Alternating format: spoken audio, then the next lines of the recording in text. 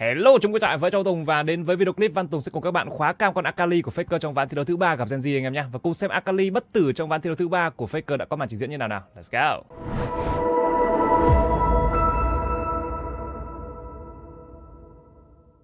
Ok, trước khi bước vào game đấu thì mình sẽ cho các bạn xem một chút về tỷ lệ thắng của Akali. Đây là con bài đã xuất hiện tổng cộng đó là 8 lần tại chung kết thế giới năm nay, à, trong đó có 6 lần thua. 6 lần thua liên tục khiến cho tỷ lệ xuất hiện của Akali cực kỳ thấp và cho tới vòng bán kết vừa rồi thì mới có hai con xuất hiện.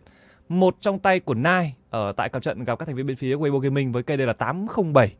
Mặc dù đầu trận rất là phế nhưng mà về sau thì vào giao tranh ăn được cực kỳ nhiều mạng. Akali của Faker 5010 cũng là một con Akali bất tử. Và đây là một chất tướng mình sẽ phân tích cho các bạn luôn ở trong cái video clip này tại sao lại có Akali và chất tướng của nó như thế nào, tại sao nó lại ít xuất hiện và cái tác động của nó tới vào đấu như nào anh em nhé. Ngọc tái tổ hợp chi tiết cho anh em tham khảo con Akali của Faker sẽ là sốc điện tác động bất chợt, à, mắt thay ma cùng với thợ săn tối thượng, bảng phụ lấy ngọn gió thứ hai cùng với lan tràn. Chỉ số ngọc sẽ là sát thương thêm cùng với máu trực tiếp anh em nhé. Kẻ đó gặp Ari quyền năng bất diệt của Chovi. Chovi mang theo quyền năng bất diệt, tàn phá hủy diệt giáp cốt cùng với lan tràn, bảng phụ lấy giải băng năng lượng và thiêu dụi. Chỉ số ngọc sẽ là tốc đánh sát thương thêm cùng với máu theo cấp. Akali, một chất tướng yếu ở thời điểm xuất hiện sâu. Phải nói đây là một con tướng cực kỳ yếu ở sâu anh em nhé. Nó không có áp lực ở sâu tốt bằng so với những chất tướng như kiểu là Silas Nhưng tại sao Faker lại khóa vào con Akali trong một game đấu như vậy? À, đây là sự tự tin của Faker, sự tự tin của T1 khi khóa vào chất tướng này. Đây là một chất tướng mà yêu cầu đồng đội sẽ phải gánh nó ở đầu trận. Tại sao Faker lại tự tin khóa vào Akali như vậy? Thứ nhất là bản thân Faker tự tin là mình đánh được Akali, à, điều là tất nhiên rồi. Cái thứ hai, có Gumayushi và Keria với cặp đôi đường dưới được coi là bất khả chiến bại ở khu vực đường dưới đó chính là As và Renata Glass. Đây là một cặp đôi gánh sâu cực kỳ mạnh. Chính vì có As và Renata gánh sâu nên Faker mới tự tin pick Akali như vậy. Tức là có một cái sự tin tưởng vào đồng đội nhất định thì mới dám khóa Akali anh em nhé. Một con bài rất khó để tự vận hành. Nếu như không có đồng đội tốt thì việc kiểm soát sâu là cực kỳ khó khăn. Mặc dù cấp độ 1 thì rất bị mất chiến công đầu với một con Ezreal có chiến công đầu có nước mắt sớm đến từ Pay.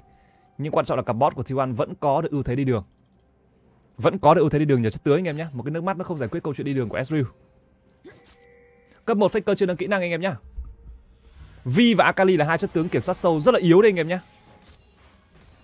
Ari của Chovy cấp 1 nâng E và đã mất tốc biến. À, Đây là một thông tin mà Faker nhận được sau một tình huống mất chiến công đầu khu vực cánh trên. Đầu trận thì Chovy cực kỳ chịu khó đánh tay cấu rỉa với quyền năng bất diệt. Faker nâng quy để xử lý lính và cố gắng giữ máu với Khiên và ngọn gió thứ hai đó các bạn sẽ thấy là Faker có level 2 sớm sau một con mắt phá được ở cấp độ 1 tại vị trí này.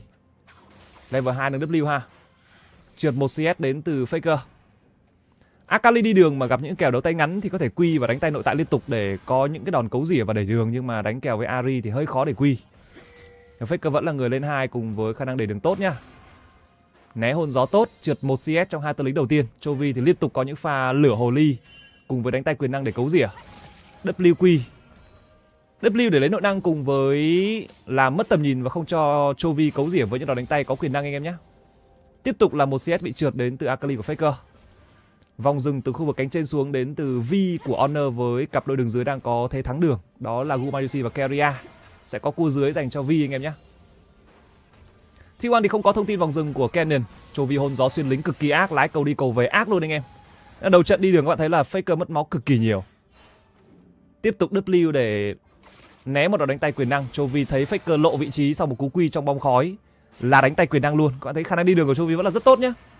Faker đang phải bán cực kỳ nhiều máu của mình với những pha lửa hồ ly thiêu dụi.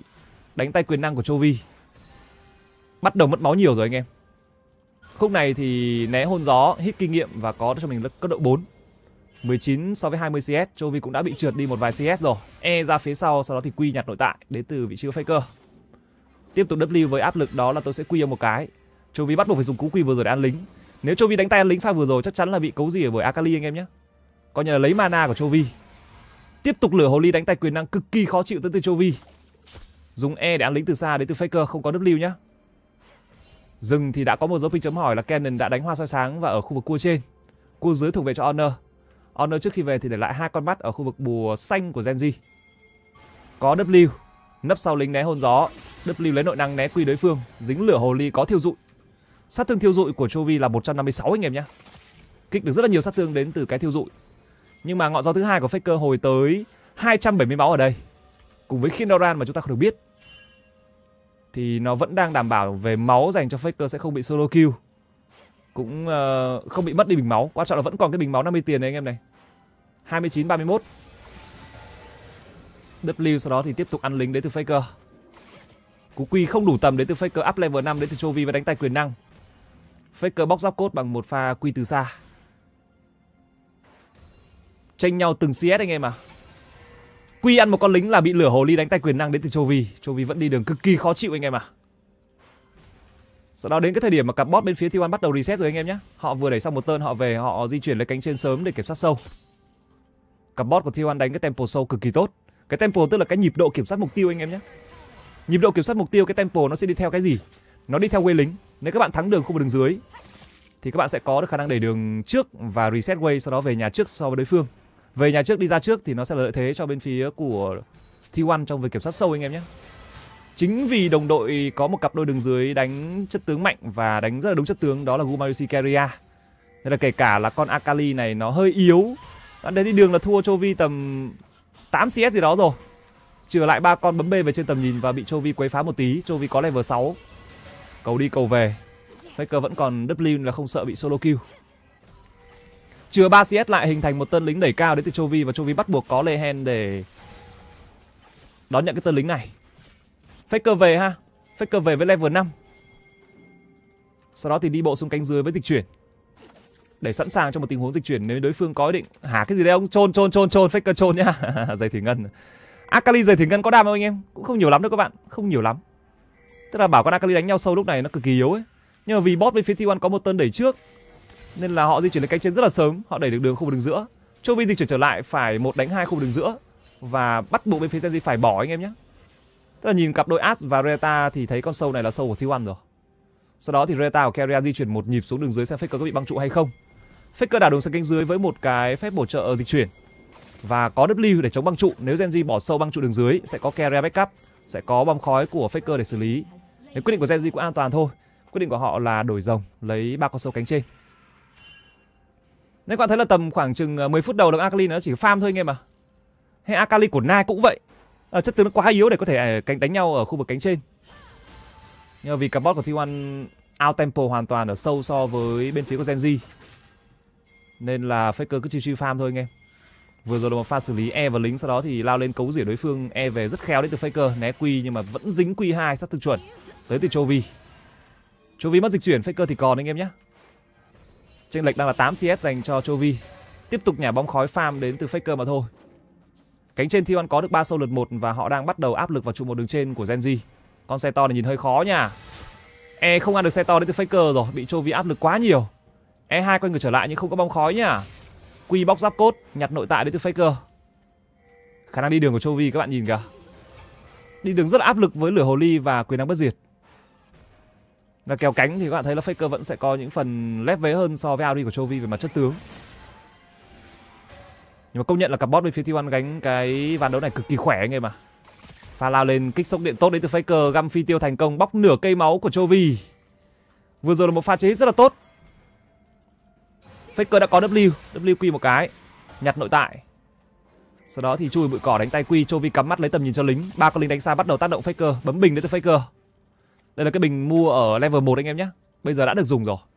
Còn cánh trên bên phía của T1 thì cặp bot của họ đánh hay tới cái mức mà ăn được sâu và ăn được cả mạng của Kin anh em. Ăn được cả mạng của Kin. Và Chovy vào ngưỡng máu này thì sợ là bị con Akali nó ép mất chiêu cuối nên là cũng quyết định farm lính từ xa sau đó rút lui mà thôi. Faker đóng băng tân lính và deny lính của Chovy phía bên kia người không có dịch chuyển. Bot T1 vẫn tiếp tục ở cánh trên anh em nhé. Nó 10 phút đầu con Akali này nó không khác gì con cua anh em mà. Nó chỉ có farm thôi á. Và cặp bot là những người gánh cái rất là early cho bên phía T1. À, nếu như pick Akali bắt buộc phải có những cặp bot cực kỳ khỏe để hỗ trợ khả năng kiểm soát sâu chứ nếu không là mất mất hết sâu anh em ạ. Mất sâu thì cũng hơi phiền. Công nhận là bot T1 gánh cực kỳ ác luôn đấy anh em. Và các bạn để ý một chút nhá. Trên đường bấm B về, Keria đã có cho mình trang bị hỗ trợ, sạc đủ 3 số luôn anh em à. Lúc này vẫn đang là bản đồ thế giới nhá. Nhưng mà nó nó vừa đủ số luôn anh em. Bấm B về một cái là có đủ số luôn này, về một cái là có ba con mắt đi ra ba con mắt đi ra nhé Lệ Hen thì sao? Lệ Hen lúc này đang có cho mình đó là 295 stack. Chưa có mắt luôn anh em ạ.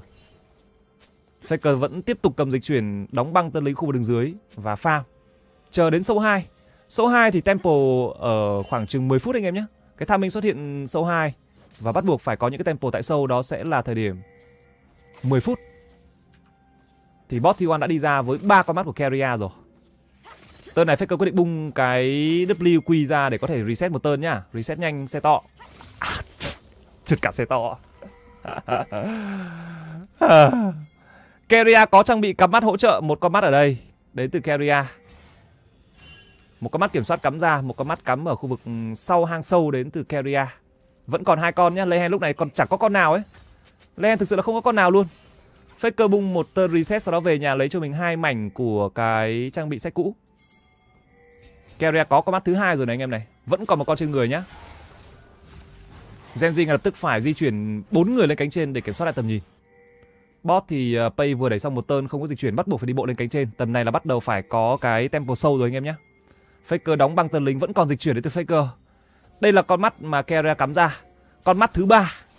Trong khi Lehen vẫn chưa có trang bị hỗ trợ cắm mắt. Đây là ba con mắt của Keria cùng với mắt thây ma các thứ nhá. Sau đó về nhà sạc thêm ba con nữa. Mình vẫn đang phải phân tích cái kèo đấu support để các bạn có thể hình dung ra cái khả năng gánh đội của cặp bot bên phía T1 nó khủng khiếp như thế nào. Để có một con Akali đường giữa, họ bắt buộc phải có những cái con tướng gánh cái tempo sâu như thế. Lehen bây giờ có cái gì ạ? Chưa có cái gì cả. Bây giờ mới có mắt đến từ Lehen này anh em này. Bot thì Faker cứ đóng băng farm chiêu chiêu với dịch chuyển, Chovy không dịch chuyển nó cứ phải mấp mé mấp mé để di chuyển chung với đồng đội lên cánh trên. Faker thì đóng băng farm rất là chiêu và gỡ CS rất là tốt đến từ Faker này anh em này. Và Lehen thì bây giờ mới có được một con mắt hỗ trợ. Trong khi Carrier đã sạc thêm ba con nữa Tức là có tổng cộng là 6 con đấy anh em. Một con ở đây, một con ở đây vẫn còn. Một con ở đây thì bị phá rồi. Về nhà sách ra mắt kiểm soát cùng với đó là ba con mắt trên người. Ao tầm nhìn cực nặng đến từ hai support anh em ạ. Faker thì cầm dịch chuyển quá là chill rồi. Đẩy đường phá mắt. Đi phá mắt rất chill luôn anh em. Mắt thầy ma. Tiếp tục phá mắt. Keria có một con mắt ở đâu nữa các bạn? Vẫn còn hai con trên người nhé Cắm ở đây một con, Ở đây một con, Ở đây một con. Đây là hai con ở lần trước. Mình pau game một tí nhá. Đây là hai con lần trước Và đây là con lần thứ hai đi ra. Một con ở đây thì bị phá Và có mắt thây ma đến từ Keria cũng vừa được phá thêm. Thì đây là một cái mục tiêu sâu hai Mà bên phía của Genji không muốn bỏ, Do là họ mất tới ba sâu trước đó rồi. Nhưng ở tại con sâu hai thì sao? Chovy không có dịch chuyển. Faker thì có dịch chuyển. Đi phá xong hai con mắt. Vẫn còn đang rất chill vì còn dịch chuyển trong khi đó thì bên phía của Genji muốn đánh vì họ không muốn mất 6 sâu. Nhưng tất cả những gì họ có về mặt tầm nhìn các bạn thấy sub deep không ạ? Một con mắt duy nhất đến từ Lehen. Trong khi T1 có 1, 2, 3 con mắt và thậm chí vẫn còn hai con trên người của Keria. Cái sự chênh lệch tầm nhìn giữa hai support nó thực sự tác động rất mạnh đến cái pha sâu này. Và khi bên phía của Genji muốn đánh đúng không? Người khỏe nhất của họ lúc này là ai ạ? Là Pay với một con Ezreal với thêm cả một con Ari. Nhưng Ari không có dịch chuyển và Genji vẫn muốn dịch chuyển để đánh thì Faker chỉ đơn giản là nhấn cú dịch chuyển xong là thấy Fatify này nó có kết quả rồi anh em. Với lượng tầm nhìn nhỉnh hơn hoàn toàn từ T1 này anh em này. Genji tầm nhìn của họ rất là hạn chế. Faker đơn giản là dịch chuyển thẳng vào một ừ, mục tiêu sâu một con mắt. Đây là con mắt cắm ra để Faker dịch chuyển anh em nhé. Chovy phải đi bộ một quãng rất là dài. Đối phương muốn đánh thì mình dịch chuyển đánh luôn. Guma ở lại. Faker TP thẳng vào con mắt kiểm soát. Sau đó thì uh, R một cái quyết định lao lên R2 nhắm tới kim W đánh tay QE đánh tay Q một cái, sau đó thì mới E2 kim mất Q lên bà đang farm chiêu chiêu, thậm chí còn vẫn đang farm thua Ari. Tự nhiên dịch chuyển sâu và có được cho mình đó là 101 KDA dành cho Akali của Faker. Nguyên cái giai đoạn đầu trận là cặp bot với One gánh rất là ác anh em nhé nên nó mới có thể có một con Akali như vậy. Và để có Akali thì Faker cũng phải có một cái sự tự tin rất là lớn là những đứa em của tôi nó sẽ lo được cái khoản early và khi Akali đã có thể vượt qua được cái giai đoạn đầu trận thì khả năng team fight về giai đoạn nửa sau của Faker với cái khả năng múa Akali nữa nó giúp cho phía T1 có cực kỳ nhiều lợi thế. EW né thành công cú hôn gió có trụ một tà bản đồ cho phía T1 sau khi có được 6 sâu. Genji thì người khỏe nhất của họ đó là Chovy không có dịch chuyển, đi bộ lên thì không kịp. Và một quyết định đánh sâu cực kỳ khó khăn của Genji. Bỏ thì mất 6 sâu, đánh thì không có Chovy người khỏe nhất team. Nên đánh cũng thua. Và Faker tự nhiên có được một mạng, một điểm hỗ trợ. Kin không có tốc biến, Bị đu bám bởi sát chiêu hoàn hảo Và khả năng xử lý kỹ năng của Faker với các Akali vừa rồi là hoàn hảo anh em nhé. Nếu anh em từng đánh Akali các bạn sẽ biết được là cái quả E trúng Sau đó thì đi bộ nhặt nội tại Sau đánh tay quy sau mới E2 Nếu E2 vào ngay thì sao anh em? Này, chắc là có thể có nhiều bạn sẽ chơi Akali sẽ biết, Còn những người mà không chơi Akali có thể sẽ không hiểu cái cơ chế của Akali. Đó, nếu các bạn E2 vào cú này mà con rách nó quy một cái là hết đam rồi, là nhiều khi phải mất theo cái tốc biến đấy cái này mình à, khóa cam nên mình phân tích kỹ một tí nhá. Tức là trước khi các bạn E2 thì các bạn phải tối ưu đam của Akali trước. Đó, đánh tay quy E một cái. Sau đó thì không nên E2 ngay nhá. Đánh tay quy một cái trước khi E2 mà E2 đúng lúc kin quy ạ. Nếu như không thì các bạn đã phải tốn thêm một cái tốc biến để có thể xử lý cái mạng của Jack rồi. Mà nội năng cũng là vừa vừa khớp luôn anh em ơi. Trụ một đường trên dành cho T1 và Faker cầm một lượng tiền đủ lớn để hướng tới một cái đai tên lửa hashtag cùng với giày thì là giày thủy ngân sẵn rồi. Một chất tướng cực kỳ yếu đầu trận, nhưng vẫn có được lợi thế dành cho Faker. Nhờ cái sự, gọi là sự gáp đến từ cặp đôi AD support của T1 Guma thì gánh chất tướng, Keria thì gánh tầm nhìn. Và thế là cánh trên bú luôn. Đi kéo cánh với Kin ha. 6 sâu cho bên phía T1 Và đơn giản bây giờ khi có 6 sâu là gì? Macro đánh Aram Macro đánh Aram và kiểm soát cho mình những cái trụ ngoài của đối phương để lấy tiền. Tầm này những lớp giáp trụ vẫn còn anh em nhé. Vẫn còn tầm hơn một phút nữa. Keria Agumayoshi đẩy trước một tơn đi trước. Pay đi sau. Pay đi sau thì sao? Đi qua tầm nhìn. Một mình Kin đép không nổi. T1 có những cái tàn phá hủy diệt. Faker E không nhận đam trụ. Kin bật E để có thể dọn lính và giữ trụ càng lâu càng tốt. Nhưng mà team fight thì team fight không nổi. Bây giờ Nocturne của Canon có R vào, cũng không thể đánh team fight anh em ngưỡng đồ lớn dành cho phía T1 với giáo thiên ly và cả một cái đai tên lửa hashtag. Hai con tứ tay dài đó là As và Reta Glass. Gánh sát thương trụ với 6 sâu là cực kỳ nhiều dành cho Faker. Thêm một trụ trước phút thứ 15 cho phía T1 nó đẩy cách biệt về tiền sau pha này lên tới con số 3.000 rưỡi tiền cho phía T1 luôn anh em. Trong đó có một mạng rơi vào tay Faker. Và lúc này thì Faker đang có 5.000 tiền so với 4k9 của Chovy. Trong khi đó thì ờ, Jack của Kin đang có 3k7. Kèo cánh căn bản là kèo không cân sức nữa rồi. Một trụ reset một tơn, sau đó về nhà lấy thêm trang bị đến từ Faker với 800. Rớt đường trên cũng farm chiêu chiêu ha. Để xem 800 Faker sẽ mua cái gì nào. Đang gom tiền, đang gom tiền anh em ơi. 850 Vừa đủ một cái Linh hồn lạc lõng à, Tính giật giật né cùng ánh sáng nhưng không được đấy Tầm này cũng hơi có tuổi rồi ha Phản xạ cũng là rất tốt đấy nhưng mà không né được Quyết định uh, swap lane đến từ phía T1 để đánh sứ giả Faker sẽ lên cánh trên, rớt sẽ xuống cánh dưới Rớt xuống cánh dưới thì sao ạ? Đây là một cái thời điểm rất là hợp lý anh em nhé Tại sao Faker không ở đường dưới các bạn? Tại sao Faker không ở đường dưới trong pha này? Cả hai cùng bấm B về nhá. Rớt và Faker cùng về. Nhưng tại sao Faker là người được cắt cửa lên khu vực cánh trên mà Ragat của Rớt lại là người phải xuống cánh dưới? Nếu Faker xuống cánh dưới thì sao? Thì không có dịch chuyển. Không nếu mà đối phương cạnh tranh sứ giả thì Faker sẽ không lên được là cái thứ nhất, cái thứ hai. Là nếu như Genji có tiếp tục buông bỏ mục tiêu để đổi mục tiêu cánh dưới và băng trụ thì nếu như bỏ sứ giả sẽ băng trụ ở đâu anh em? Băng trụ ở đường dưới. Và nếu băng trụ đường dưới thì Akali của Faker gặp nguy hiểm hay không? Thực ra thì à, có thể sẽ xử lý bằng W hay là dịch chuyển của Rớt được nhưng nó sẽ hơi nguy hiểm và nó sẽ dẫn tới những tình huống là có thể sẽ phải AFK farm ở đây AFK ở đây giống như rớt thì nếu như Ragat AFK thì nó vẫn có tác dụng và nếu như Faker AFK thì sẽ hơi thọt một tí với Akali. Nên là người nào mà được ưu tiên farm hơn, người nào mà có khả năng gánh đội tốt hơn, thì sẽ thường được cắt cử đi chung với cái đường cánh nơi mà có mục tiêu lớn. Vì đối phương sẽ không thể nào băng trụ Akali ở đây anh em, không thể. Nếu đối phương ở cánh trên, đối phương đã đánh sứ giả rồi. Rất đang là người chịu thiệt nhá rất đang là người phải chịu thọt vì không đón được kinh nghiệm, không đón được chỉ số pha mất hết một tân lính đến từ rớt rồi anh em nhé cho các bạn xem, mất hết một tân lính 6 con nếu như faker ở đây, faker phải là người mất cái tân lính này. Mà rõ ràng là trước tướng akali cùng với ragat thì nó nên là con ragat chịu thiệt một tí. Còn người được farm được ưu tiên đó chính là vị trí của faker. Và T1 cũng đơn giản phản ứng với tình huống dịch chuyển xuống canh dưới của Genji là gì? Tức có sứ giả. Faker đẩy đường trên. Đường giữa có sứ giả. Họ bắt được rất là nhiều mạng và ăn được cực kỳ nhiều trụ pha này anh em nhé. Đại bằng tiễn thành công. Vi và As quá khỏe. Lehen nằm xuống, không kịp làm gì cả. Lái sứ giả vào hướng trụ 2 Mặc dù cú húc từ sứ giả không thành công nhưng vẫn có thể hạ gục được Cannon với tả sung hỗ đột và Faker reset được một tên vào trụ 2 Genji ăn được tổng cộng đó là một trụ đường dưới. Nhưng họ mất cái gì? Họ mất một trụ đường giữa. Họ mất thêm cái trụ hai đường trên với cái tân lính Faker đẩy vào. Tự tin là đội đội đường giữa có thể xử lý được trụ. Đội đội đường giữa với bộ ba đó là Honor, Gumayushi và Keria đã có thể xử lý xong trụ 1 làm mềm trụ hai một tí với tân lý đường trên họ lên đường trên ăn thêm trụ hai nữa. Thì cái này trong clip phân tích tổng mình đã phân tích cho anh em rồi nhá. Rất TP lên đấm luôn này anh em ơi. Đó nếu faker đường dưới sẽ không có dịch chuyển để đánh những cú như này nhá rất là đường dưới có dịch chuyển. Dịch chuyển lên cánh trên giúp cho bên phía của T1 có cho mình đó là thêm một cái trụ nữa. Cái này thì mình đã tính tổng với các bạn là trong khoảng chừng một phút. Genji throw đi 2.000 dễ tiền. 2.000 dễ tiền thưa các bạn. Pha xử lý kỹ năng cá nhân của Faker trong pha này khi chúng ta khóa cam Faker thì để xem Faker đã xử lý như thế nào. 6 sâu, lướt đai tên lửa dọn lính trước. Chuyển sát thương từ lính sang trụ. Có honor ở đây. Faker xử lý với pha găm phi tiêu trượt Quy nhặt nội tại. Tiếp tục đánh tay Quy. Tiếp tục nhặt nội tại. Đánh tay vào trụ, Sau đó thì đánh tay Quy. R vào, Mạng dành cho Guma. Trụ sau đó rút lui. Thậm chí vẫn còn E và Lehen E2 R2 Múa tí. Ok chưa? Múa ha, Bắt đầu múa múa ha. Ờ, xanh ha.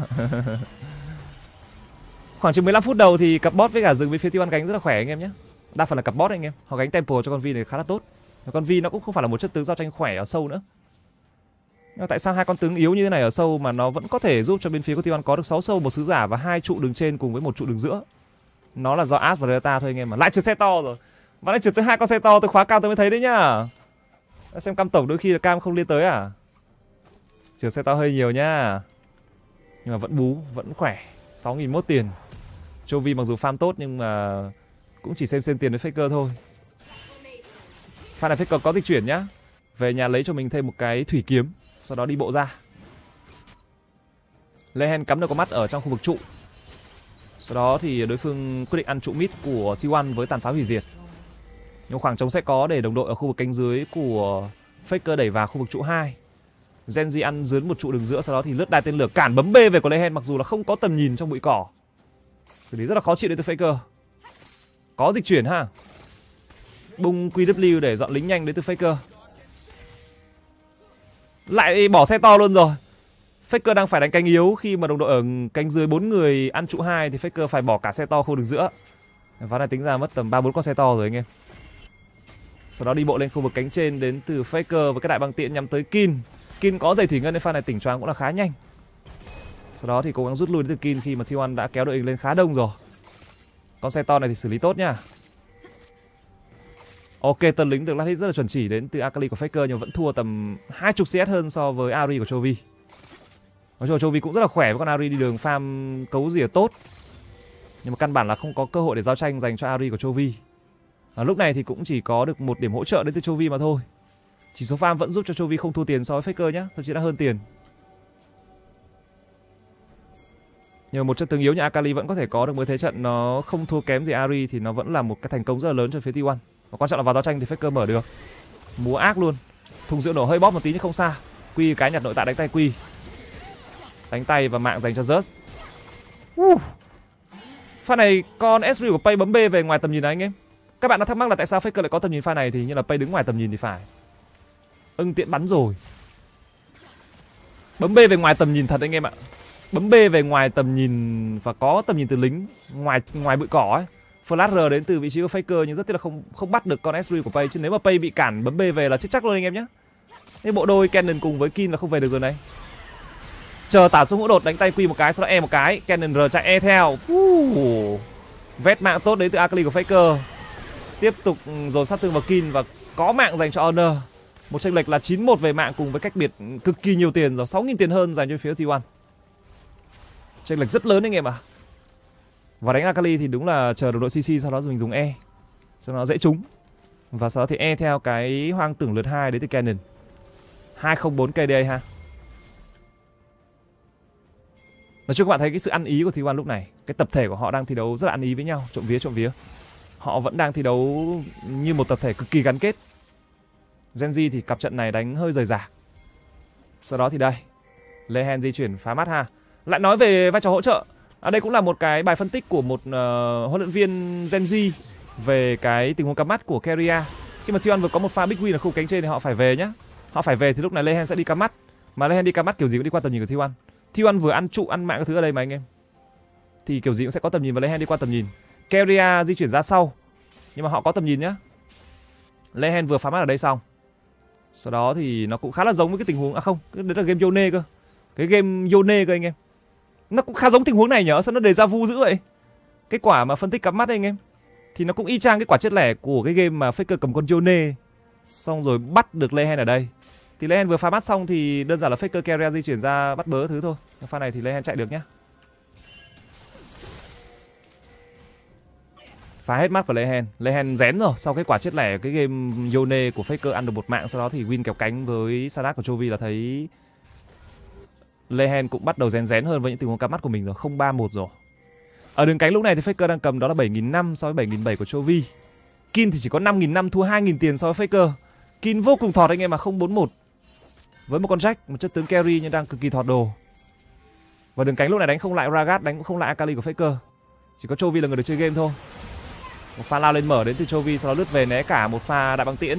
Keria là người gặp nguy hiểm nhưng mà có cứu cánh đến từ Keria Faker bơi cả người vào và sau đó thì đánh tay E E2 vào Vẫn còn sát chiêu hoàn hảo lượt 2 đến từ Faker Đánh tay Q liên tục, đánh tay Q R2 dứt điểm một tình huống trao đổi đến từ bên phía của T1 đó là một honor đổi được 3 mạng của Genji. Và xử lý kỹ năng với Akali trong pha vừa rồi của Faker thì cũng không có quá nhiều thứ mà chúng ta cần phải phân tích. Dịch chuyển giữ xe to để ăn trụ hai được giữa trụ ngoài cuối cùng của Genji nhé. Nếu như không ưu tiên cái cú dịch chuyển này để ăn trụ hai đường giữa thì cảm giác là sẽ không đủ khả năng đến từ ba thành viên còn lại của T1. Là Faker quyết định đầu tư một cú dịch chuyển ra, trụ này cũng chỉ còn khoảng chừng 92 máu thôi anh em ạ. Thay vì ở đường trên farm cái tên đó thì quyết định TP để ăn trụ nhưng mà rất tiếc là T1 đã không thành công trong việc lấy cái trụ hai đường giữa của Genji. Nhưng cũng đã lấy được tương đối nhiều máu của nó rồi. Và với thế trận như này thì không nên fit những cái mạng có bounty như này anh em nhé. Lehen lại tiếp tục di chuyển cắm mắt sau một tình huống được đánh giá là thua thiệt hơn so với T1. Lehen cắm mắt cái gì đây ta? Lehen cắm rất là nhiều trích cắm mắt sát tường đấy anh em nhé Tức là những con mắt như này nếu mà T1 cắm mắt kiểm soát trong Baron là không thấy, không thấy con mắt ngoài được. Hai con mắt cắm ở mé tường. Đến con thứ ba cắm mé tường thì T1 cũng cắm mắt rất là kinh nghiệm luôn. Họ không cắm nó ở giữa bụi cỏ mà họ cắm nó ra bên ngoài bờ sông một tí để tránh những cái quả mắt trích lỏ của Lehen. Lehen thấy con mắt của mình nó có vẻ là hơi phê phêu. Đổi con mắt sang phía bên đây thì nó cũng vẫn bị lộ mà. Sau đó về nhà sạc mắt, chắc chắn là phải về nhà sạc mắt rồi. T1 sẽ đi ra với những cái công cụ để phá mắt Đó là máy quét và mắt kiểm soát của họ Cạnh tranh tầm nhìn ha Baron là mục tiêu được ưu tiên lúc này Di chuyển à, bật máy quét đến bên phía của T1 Xâm lăng vào khu vực bùa đỏ của Genji Nhưng họ không biết rằng phía sau mình đang có hai con mắt cực kỳ nguy hiểm cho Ash. Faker thì pha này không có tốc biến nhá E vẫn bị choáng W một cái. Tiếp tục quy cấu rỉa Lehen Phía bên kia thì Kennen giữ lại được bùa đỏ. Sau đó thì hoang tưởng. Và sau đó thì Faker quyết định là Dí thẳng vào Lehen cùng với Pay Một mình khép góc Pay nhưng mà phía bên kia thì xạ thủ của T1 đó chính là Gumayushi đã bị shutdown với tình huống mất hai phép bổ trợ, một đổi một đến từ cả hai bên. Sau đó thì quyết định là không giao tranh nữa. E rút lui đến từ Faker khi thấy Guma đã lên bàn đếm số. Cái tình huống này là tình huống cạnh tranh tầm nhìn và cạnh tranh bùa đỏ anh em nhé. Nếu mà thành công thì nó dẫn tới một con Baron trên phía T1 nhưng mà nó không thành công, bị shutdown. Và Chovy vẫn đang gánh rất là ác cái game đấu này với một con Ari có cho mình 9.200 tiền. 9.200 tiền với một cái giáp tay Seeker ở món trang bị thứ ba giày thủy ngân, hỏa khuẩn, mặt nạ. Nhìn con Ari này vẫn rất là khỏe anh em nhé. Esri cũng khỏe với hai món trang bị và 200 KDA. Nhưng mà nhìn tiền tổng thì các bạn thấy là tiền với phía T1 vẫn hơn tầm 6k. Do đó họ ăn được tới 5 trụ ngoài của đối phương. Trong khi đối phương thì ăn được có hai trụ của họ mà thôi. Và những cái trụ của T1 thì có tới hai trụ năm giáp trụ anh em nhé. Cực kỳ nhiều tiền. Faker thì đang là 306 đã có kiếm tay ương đồ 2. Đồ 3 sẽ là đồng hồ, lướt đai tên lửa xử lý cho mình đợt lính. Nhưng mà đường cánh với Ari của Chovy thì Chovy vẫn đang khỏe. Nhìn chung thì Chovy vẫn là cực kỳ khỏe anh em nhé. Trụ đường trên đang hơi yếu máu và quyết định đến từ Keria sẽ là lên backup dành cho Akali của Faker. Chovy rất là tự tin với phi hồ. RE rất mượt E2 la vào tấn công giữ trụ đến từ Faker. Đợt lính vẫn tràn trụ. Đại băng tiễn trượt. Một pha bung R để ép trụ đến từ Faker. Vẫn có trụ cho phía Genji chỉ là không có lát hit thôi. Mất một chiêu cuối đến từ phía T1 và họ sẽ không có được áp lực để ăn cho mình đó là con Baron. Ép cho Chovy không lát hit được trụ ha. Cũng gọi là deny là một tí tiền của Genji. Deny được không? Deny được không anh em? RE E2 rất là mượt. Lính phá hủy trụ thật. Deny tiền luôn anh em. Một lượng tiền nho nhỏ nhé. Sau đó thì thuận thế họ sẽ có một tình huống di chuyển ra mid để lấy cái trụ cũng không còn nhiều máu của Genji. Đổi trụ một đường trên yếu máu, lấy trụ hai đường giữa. Ok. Rồng có cánh dưới anh em nhé. Genji cũng ăn được hai rồng và họ có quyền bỏ qua những con rồng nguyên tố phía sau để câu giờ cho đội hình của họ. Đội hình của họ đang có một con rách rất là yếu ấy. Giao tranh trực tiếp tại thời điểm này thì VFT1 cũng sẽ không muốn giao tranh. Do là họ đang thiếu chiêu cuối của Faker khoảng 15 giây hồi. Họ cũng đang bị thiếu hai phép bổ trợ của As. là những gì họ làm đó là bỏ qua khu vực cánh trên. Một lượng tầm nhìn cực kỳ tối ở khu vực Baron đến từ phía T1 họ còn một cái ưng tiễn đến từ Guma bắn liền đấy anh em ơi. Phải bắn liền nhá. Phải bắn liền ra để check Baron đấy nha anh em nhé Genji cũng không dám ăn. Pay đang ở đây thì không dám ăn thật rồi. Tôi không biết là bên phía Genji dình cái gì ở pha này nữa. Đây là một pha đứng cam để tính khai thác mạng, Nhưng mà T1 đã về nhà chung với nhau Và họ di chuyển lấy cánh trên rất là đồng nhịp nhá. Di chuyển cổng công nghệ bắn ưng tiễn trách mũi trước. Và sau đó thì Lehen là người cùng với Chovy đứng rình. Nhưng Lehen lại là người nằm xuống ở trong tình huống này khi dính đại băng tiễn. Faker R vào W lướt đai tên lửa tiếp tục quy làm chậm đối phương. Đại băng tiễn trúng R2 và dứt điểm đến từ Faker găm phi tiêu thành công. Hợp chất thảy ra. Honor quyết định là không dùng tả súng hỗn đột vì Chovy vẫn còn một cái Zata Seeker giữ lại chiêu cuối để áp lực ừ, Baron nó sẽ là tốt hơn. Nhưng mà T1 cũng đầu tư cho mình đó là ba cú chiêu cuối quan trọng để có mạng của Lehen trong pha vừa rồi. Nếu như đó là một pha đi lẻ đến từ một thành viên nào đó thì có thể sẽ có mạng cho Genji nhưng mà Genji đã thất bại khi mà T1 lúc này đánh như một thể thống nhất họ không có những pha đi lạc giống như Lehen Lehen chết tới mạng thứ năm rồi. Kin thì nằm xuống 6 mạng ở đây. Mà Kin nằm xuống thì đa phần là bị bị báo vì cái bot thua ấy anh em. Nó không phải đi đường dở nhá. Nó không phải đi đường dở mà thua kèo với rớt đâu nhá cái vấn đề hay là cái game Poppy cũng vậy. Nhưng cái vấn đề là cái bot gap bot gap cả về chất tướng lẫn cả tempo mục tiêu xong rồi gap cả về tầm nhìn đấy nên là Kin cũng đã nằm xuống rất là nhiều lần vì phải dịch chuyển đánh nhau ở sâu nhìn nó rất là hơn no hope. Xong rồi bị cặp bot phía t đánh trích lò cũng bị nằm xuống ở khu vực đường trên. Nên là một trận đấu cũng cực kỳ khó khăn dành cho Kin.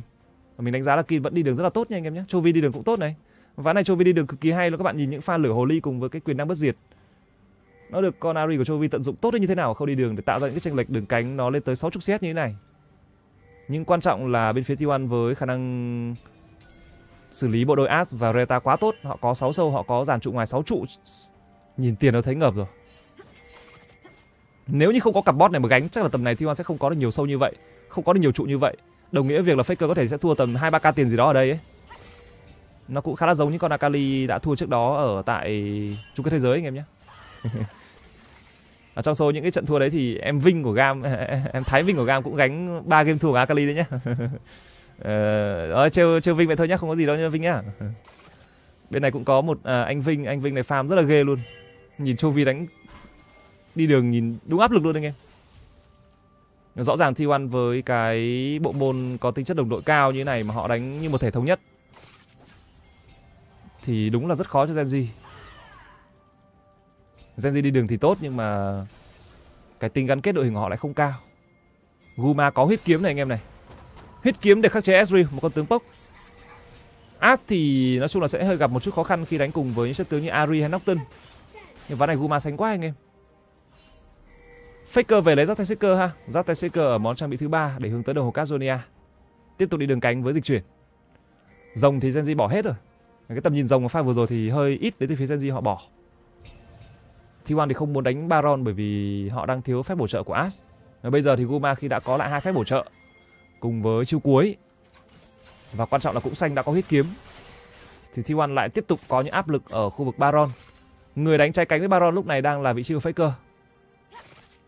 Vẫn đang thua tầm ờ, 5 sáu 60 CS ha. Các bạn thấy là cái áp lực đi đường ở đẳng cấp cao nhìn nó rất là ghê ấy. Chỉ cần các bạn sai lầm dính một kỹ năng quan trọng của đối phương, các bạn có thể bị thua lên. Có Honor cover đường cánh cho Faker đẩy cao một tơn. Kiểm soát bùa xanh đối phương. Đây là một pha có định xâm lăng bùa anh em nhé. Bùa xanh sau phút 20 nó rất là giá trị vì nó chia cho toàn đội. Mà đối với phía T1 thì ai cũng có khả năng tận dụng bùa xanh rất là tốt. Ragat tận dụng bùa xanh tốt. Akali cũng là vị tướng dùng nội năng, Cũng tận dụng bùa xanh ổn. As thì có thể bung W đẩy đường liên tục.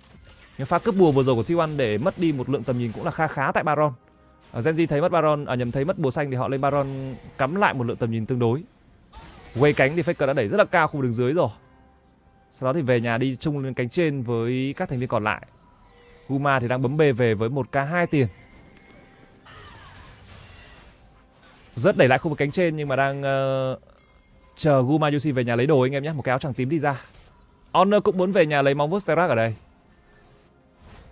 Faker tiếp tục xuống khu vực đường dưới, đi đường cánh cùng với một con Jack của Kin đang có hai trang bị lớn nhưng mà không 63 KDA. Kin chỉ có 8.300 tiền thôi anh em à Rất là nghèo ấy. Lướt đai tên lửa lại trượt xe to đến từ faker.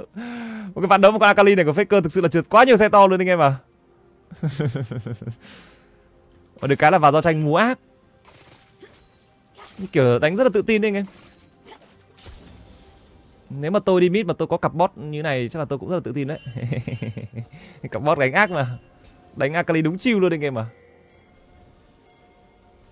nhưng mà trong một cái ván đấu thì rõ ràng là khi cặp bot của T1 có được những cặp bot mạnh đến như vậy, Họ có thể múa cánh trên rất là nhiều con, Họ có thể nấu nướng rất là nhiều con cánh trên đấy.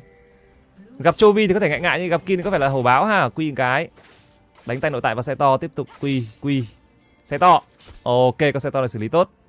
Dòng nguyên tố công nghệ thứ ba liên tục cho phía T1 Vì Genji chấp nhận câu chuyện là buông bỏ hết tất cả các mục tiêu Do là họ bị thua tiền quá nặng Bây giờ thì Esri 3 đồ uh, Ari 3 đồ Top rừng đang là hai đồ đến từ phía Genji với hai giây thủy ngân, ba giây thủy ngân, bốn giây thủy ngân, bốn giây thủy ngân anh em nhé. bốn giây thủy ngân bảo sao con As nó không gánh tim anh em. Mà T1 đánh kỹ nhá. Mặc dù hơn các bạn nhìn thấy hơn tầm phải đến 7.000 tiền đấy. Hơn 7.000 tiền hơn ba rồng. Nhưng mà họ không ăn Baron. Lý do cho tình huống không ăn Baron là gì? Là họ chờ Guma có một cái lời nhắc tử vong anh em nhé. Chờ tới con át có lời nhắc tử vong mới đánh Baron cho nó chắc ạ. Nhưng mà bởi vì ván này Guma xanh quá, anh em 13.700 tiền so với 1.500 Nên là có lời nhắc tử vong cũng rất là sớm Nếu mà bình thường mà As không xanh chờ đến lời nhắc chắc là phải tầm 35 phút mất Áp ván này Guma xanh quá Tiếp tục ở đường giữa farm chiêu chiêu, Chấp nhận nhà tầm nhìn Baron cho phía Genji vì họ biết là Genji không ăn được. Genji có ăn được đâu anh em. Genji bây giờ phá tầm nhìn xong là phải về thôi. Ăn một cái bắn cái ưng tiễn thấy là coi như chết cả đám luôn đấy. Phía T1 vẫn còn rất nhiều con mắt carrier cắm này.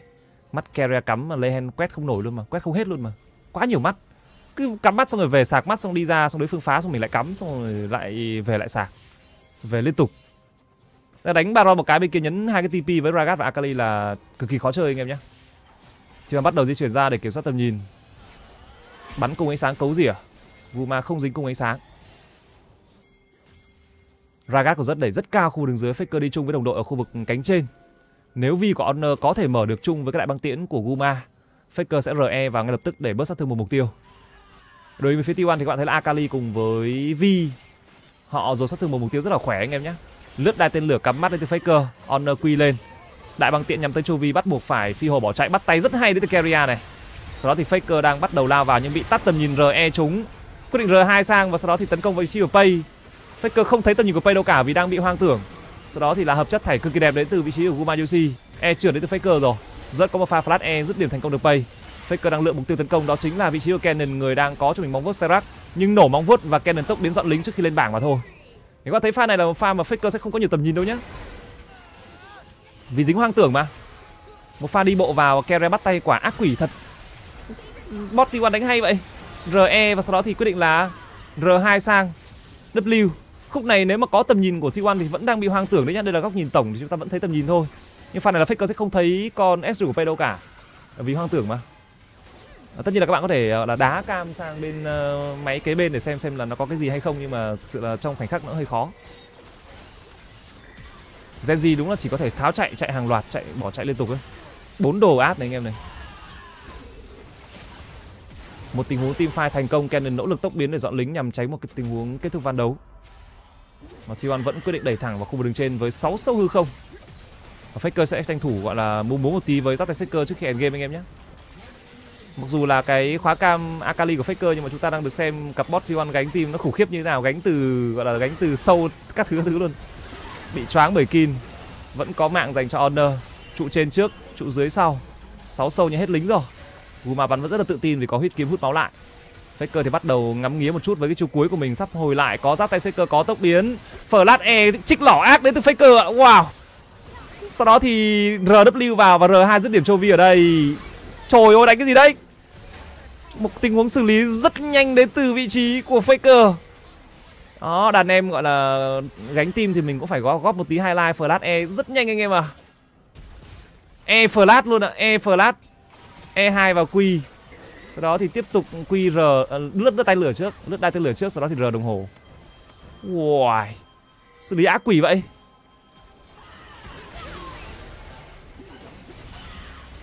Mặc dù chưa xe to hơi nhiều nhưng mà múa vẫn khét anh em ạ. Và team fight múa vẫn khét năm không 10 KD nhá được quả cuối làm quả e flat nhìn đúng ảo luôn ờ, trích lỏ Akali ha rồi, cảm ơn anh em rất là nhiều vì đã theo dõi một giáo án của Faker ngày hôm nay với con bài Akali gọi là cũng uh, được cặp bot gánh rất là nhiều ở dạng early nhưng mà cuối cùng thì Faker vẫn đóng góp được một lượng sát thương cũng như cái khả năng múa Akali của Faker trong team fight thì vẫn rất là ổn.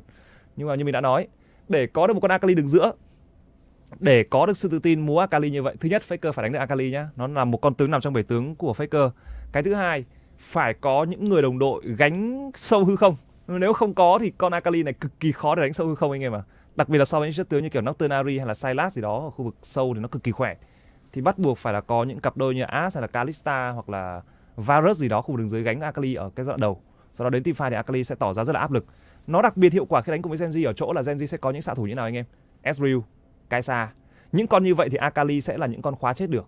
Nó sẽ khóa chết được những con xạ thủ cơ động trong tay của Pay.